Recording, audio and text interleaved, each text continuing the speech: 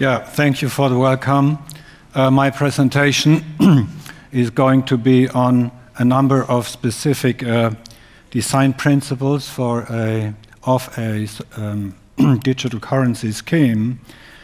And um, I will skip that because uh, the previous speakers already said a lot on this, but let me say just one thing, and that is that um, at the beginning of the discussion, uh, most participants thought that digital currency would come in the form of cryptocurrency, but it seems to me that for the time being, so the, the new technology has a number of, uh, it's still in its infancy, and so uh, I guess, uh, and I, I, have the impression that most experts now think that as a start, as a start, digital currency is very likely to come in the form of money on account. I won't say deposit money, it's mindful of, of, um, of bank money, but money on account. So, in, at least in my presentation here, referring to digital currency means uh, money on some sort of central bank account. So, and um, uh, the major reason uh, for introducing, for the idea, the, developing the concept of introducing digital currency, uh, we have heard that from Mr. Clausen from uh, the Swedish Riksbank, that is that in actual fact, the solid cash, the use of solid cash is, is, is dwindling away it, it's vanishing literally. And, um, and here you see the example of Switzerland. It's the longest time series I was able to put together without much effort. And elsewhere, the situation, however, is, is similar. The structural picture is, is, the same everywhere. And, and you see, even, even if statistics say that uh, cash is still 10% in the monetary aggregate M1, uh, in fact, it's less than that because much of the cash today is not in circulation. It's not active money, but it's, it's held as a safety buffer, or it's, in the case of the dollar and the euro, it's, it's circulating abroad as a, as a parallel currency. And what you see here is that, in fact, as a secular trend, that uh, uh, the rise of bank money uh, the rise of bank money has marginalized central bank money in all advanced countries. And um, I mean, uh, imagine a situation when there is no more central bank money, uh, no more central bank money in public circulation. Then the central banks, the situation of the central banks is a bit remindful of, of King Lackland. So it's a king without, king without land. So, and um, Um, yes, uh, and so, uh, by the way, we speak we speak of bank money. We do not so far have, have we have not so far spoken of uh, new money surrogates, like for example, money market fund shares. In fact, um, pre presenting an amount of two two and a half times the amount of M1. yes, and uh, I mean the situation here means that the, the, um, the effectiveness of conventional instruments of monetary policy have become very, very weak. And uh, so the, the hope is, and the idea is, that um, if that trend can be reverted, and so that there is more digital currency, a central bank money in, uh, in circulation in proportion to bank money, then we could expect um, also conventional instruments of monetary policy, particularly interest rate policy, to become uh, more effective uh, again. So, enhanced transmission and thus uh, improved effectiveness of monetary policy is one big advantage. Uh, in itself, I think, a reason enough for introducing a digital currency. Another advantage, it has been said repeatedly here, is, is complete safety and um, and uh, there, there would also be no more counterparty risk uh, in bank payments, as is the case today, because banks, commercial banks, would no longer be need no longer to be trusted third parties.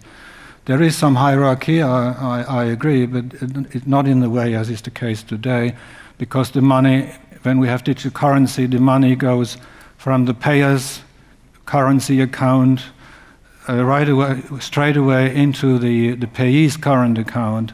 It's not monetarily intermediated by the banks any longer.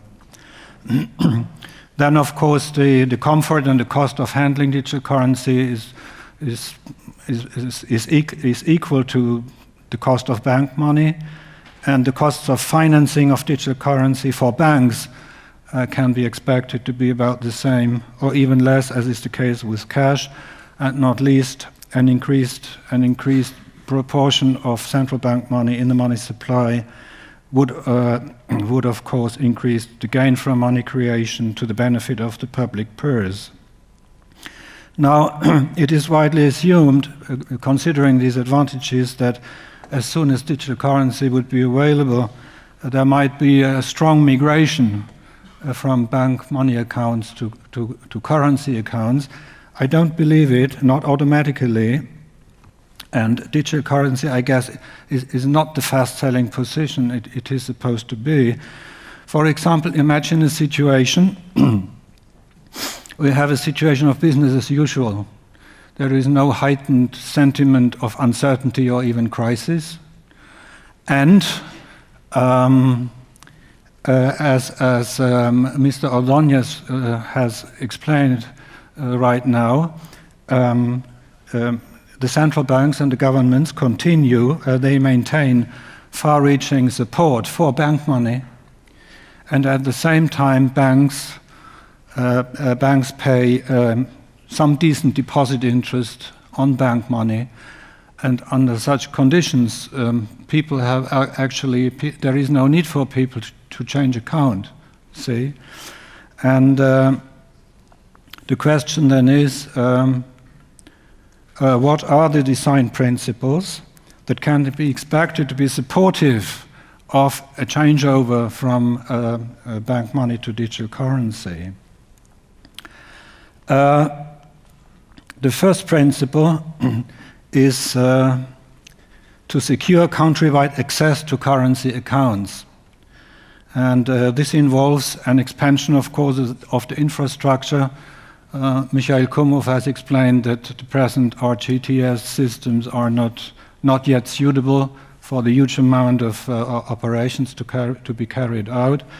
And so I guess the, the Swedish model, in fact, envisages a, an, an, expansion or even a new infrastructure, pay, a new payment infrastructure complementing the already existing central bank payment infrastructure. And uh, unrestricted access to currency accounts itself is part of a wider principle, which actually is uh, not to restrict uh, access to digital currency. In this regard, as well as in, in another two or three aspects, uh, I, do, I do not agree with Michael Kumhof. we agree very much in the analysis of the present um, money system, but we don't agree in all aspects of what a digital currency system might look like. okay, and um, uh, most proposals I know so far, in, mo in most proposals of a, a digital currency system, a digital currency is meant to be a universal means of payment, a universal, universal means of payment, rightly so, uh, as I think, and limiting the available amount of digital currency or limiting access to digital currency to digital currency account, that would clearly uh, counteract uh, that uh, intention. And, and should, for example, the non financial public be excluded uh, from using digital currency, the, the whole project would, actually, would in fact be, uh, um, uh, uh, be pointless, uh, in my opinion, because the sense of it is to offer a new universal means of payment in public circulation. And, and, and that's, that's, that's what it is about, and, and not restricting the use in, in a, in a um, yes, to, to whomsoever and uh, to what amount soever. Uh, another, the next principle then is merging digital currency and interbank reserves into one circuit. Again, something uh, Michael Kumhof has definitely said which that should not be the case. And I say, why, why should that not be the case? I mean, uh, reserves and digital currency in public use, certainly it, there is different ownership. And uh, seen from the present uh, uh bank money regime, its uh, reserves ha have, of course, a different function. But considering the, the central bank money as such, uh, the digital currency of central banks, the, the kind of money and the quality of that money it's all about the same sort of money. It's all about the same class, one identical class of money, and I see no need to keep that separate. Uh, quite to the contrary, uh, giving, giving digital currency a future perspective of a so towards a sovereign money system. It is actually important to, to create links and start merging uh, um, previous central bank reserves and future digital currencies. Um, so the next principle subsequent to this is then uh, full convertibility of, uh, digital of uh, bank money into digital currency, and also, of course, convertibility uh, of um, digital currency back to, to bank money accounts. And this includes a next or um, a principle linked to this, and here I guess that's, that may be a, a, bone of contention, what I'm going to say right now, or it may, be a, it, may come as a surprise of a number of my, to, to, to some people here. and, and it's the following it's uh, the question of bank, of bank run. And um, and yes, uh, the bank run is a problem, and it's, it's, it, it, will remain a problem. But let me stress that it is not a problem of digital currency. The bank run is a problem of fractional reserve banking, and uh, it's inherent into the present system. And as long as we have proactive bank money creation that is accommodated by the central banks, um, this will surely remain a major source of instability, but it's not due to digital currency, it's due to bank money. Be clear about that. Normally, the bank money problem is much played down, whereas in the context of discussing digital currency, I think it is unduly exaggerated because, uh, as, as, as I said, bank runs do not occur in a situation of business as usual. Bank runs occur when banks uh, get into trouble. And then, of course, the demand for safe money goes up. In this case, the demand for digital currency will go up. And uh, if it's a strong process, then the banks will, of course, not have, they will not be able in, in a short run uh, to, to, to, um, to provide uh, enough uh, eligible securities for obtaining uh, fresh central bank money in order to fulfill their empty promise to hand out the, the, the, empty promise of bank money, to hand it out to fully in 100% uh, in cash or then in digital currency. And that's, that's, a, a, a very, that's very destabilizing indeed. Now, therefrom, I would say the convertibility of bank money into digital currency must be ensured not only during periods of business as usually, but also and urgently in a bank run situation. And in actual fact, I think that warranting the convertibility of bank money also and precisely in a situation of bank run, uh, that is the definite response to the bank run problem. This is to say that in a bank run situation, central banks should stabilize banking and finance, but not by trying to stop the bank run, but by supporting the conversion of bank money into digital currency. And I think that's the final solution, and it will very, it's, it's very likely not to result in a 100% switchover, but the, the knowledge as such, the, the certainty, I, I could con, uh, uh, convert uh, the bank money I have if I, if I wished so. That, that alone would, be, would, already, would already stabilize the, situation very much. Yes. Um, now, the next uh, principle then is um, uh, as already uh, Mr. Ordonez has said, and I guess, I guess Edgar Wortmann will say a, a word on this too later on. Today, uh, the bank money is, is supported by a number of auxiliary constructions without which fractional reserve banking would have collapsed long ago, at the latest in the 1930s, so, or even earlier. And this, the central bank uh, uh, is supporting bank money uh, in its function as an as a lender of last resort, not not only in under conditions of business as usual, but particularly in a situation of crisis, and uh, a lender of last resort by almost unconditionally accommodating the bank's demand uh, uh, for reserves. And the government gives guarantees for bank money in a number of ways. Uh, first, by accepting bank money in payment of taxes and by generally using bank money, by recapitalizing banks if need be, and also by standing bail for bank money, each account up to one to two uh, hundred thousands uh, of euros, depending on the country.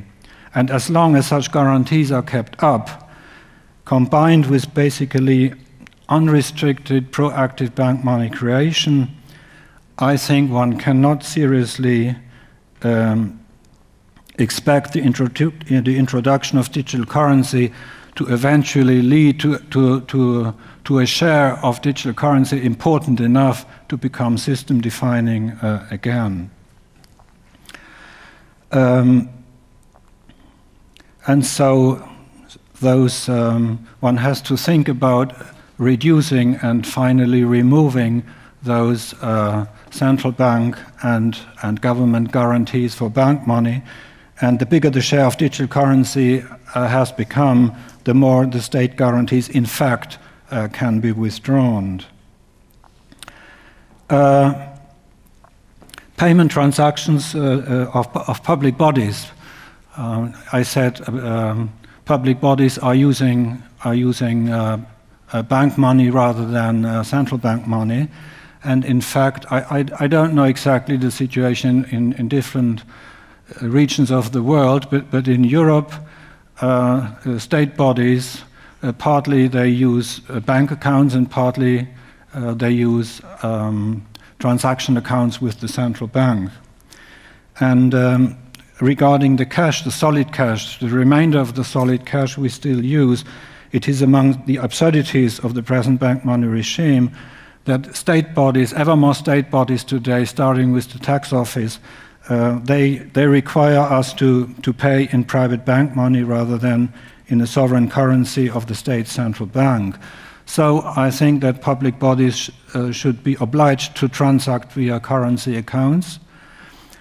And of course, uh, it has to be considered also in this case that uh, the state's acceptance of bank money is one of the key pillars of the entire system. And, and if that pillar would be taken away too fast, and considering that uh, government expenditure is now at 35 to 55 percent of, GDP, that would of course be that would create a dangerous situation sim similar to similar to a bank run situation. So that that would have to be done, or that has to be done gradually but nevertheless it should be done, and public bodies, as, as soon as digital currency is available, should start to use digital currency accounts and slowly but surely expanding the use of these. Now, the question of um, interest, uh, digital currency, how many? Five minutes? Yes. Uh, digital currency be interest bearing. So, I'm not so sure why, why central bank money ought to be interest bearing. I mean, I understand how Michael uh, uh, explains that, and, and uh, you have a point. But let me, let me consider the question more, more fundamentally. I think that interest is paid on credit and debt positions. Interest is paid on, say, a, a promissory position of some sort. But digital currency as a means of payment is not a promissory item as bank money is. But it's, it's high powered central bank money, it's high powered base money in its own right.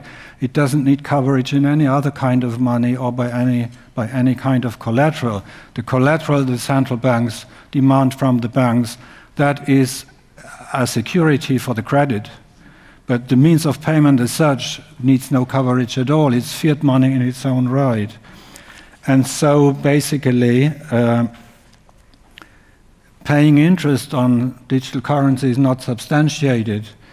On the other hand, I agree that uh, or, or, first, let me say, uh, quite, over, uh, quite openly, a number of scholars had said we, we want to have digital currency because we want to, to, to impose negative interest. That's one, one reason.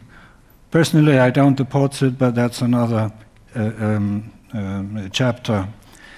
Um, Mar uh, Michael has said, yeah, it's, it's, it's a tool to clear the market whatever this finally means, but the way I understand it is um, it's a tool, it's a way to, to complement or even counteract the deposit interest the banks are likely to pay on bank money again. And so if if we have a deposit uh, deposit interest on bank money but no interest on on digital currency, the situation might arise that uh, in times of business as usual, or no, in, in, in times of uncertainty and crisis, we, we would have, we would have a, a, a, shift, a kind of fluctuation into, into uh, digital currency. And when things are normalizing, then we, we might have a shift backwards uh, to bank money. And I think that such kind of back and forth, that's not desirable. And so I would say pay and deposit interest that is equal to the deposit interest the banks are paying on the bank money, that would create a level playing field and that would be okay. As a concluding remark, let me say the following. Uh, I think um, so. The, the, introduction of digital currency, in fact, it raises a number of questions. Uh, as Mr. Clausen had said, um, they, you, you, said, if I got it right, we are not so sure about many questions uh, what the answer what the answer is. And I think it's not it's it's actually not necessary to know all answers in details in advance, because you see the modern the modern world has been living now for one to even 300 uh, years with that conflicting situation of uh, sovereign money or central bank money on the one hand and bank money uh, on the other hand. And um, uh, the equally conflicting situation of uh, digital currency side by side with bank money, that will basically be not too different from this. There would be a number of advantages, but for the rest, it would not be too different from this. And in all events, I guess that um, introducing digital currency uh, in parallel with bank money in whatsoever variant that would be a step forward, uh, coming to a degree with the advantages mentioned above. And let me stress, let me point out, by comparison, the problems inherent to the present near complete rule of bank money are still much bigger than problems related to digital currency might be. That's what I wanted to say. Thank you.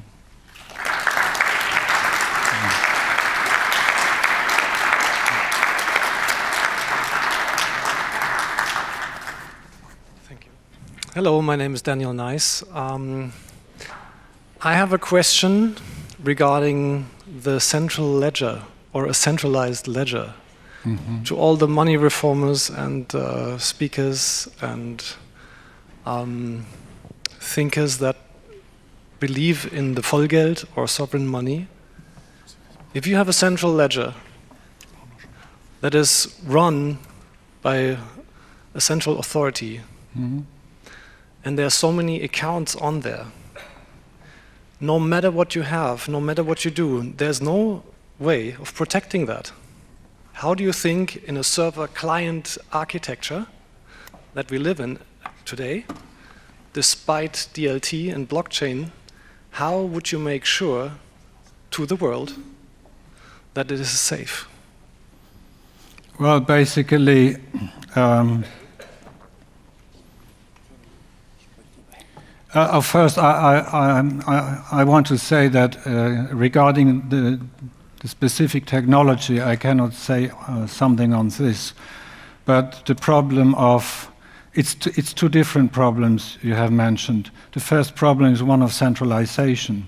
And apparently, uh, if you want to organize so, uh, in an efficient and uh, ecologically efficient, energy efficient, and cost efficient way, you apparently need some degree of centralization.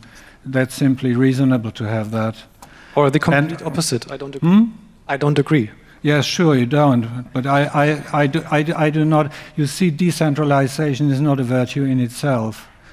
And uh, pe people have thought for a long time a decentralization and, and, uh, and so on. That's diversity. That's an ecological problem. It isn't.